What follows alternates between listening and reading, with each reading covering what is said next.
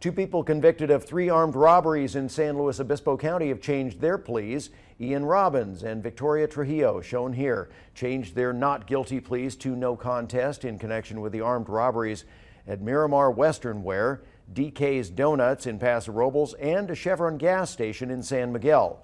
Robbins is also accused of robbing Batch in San Luis Obispo. He's been sentenced to 10 years in state prison. Trujillo is expected to be sentenced to three years.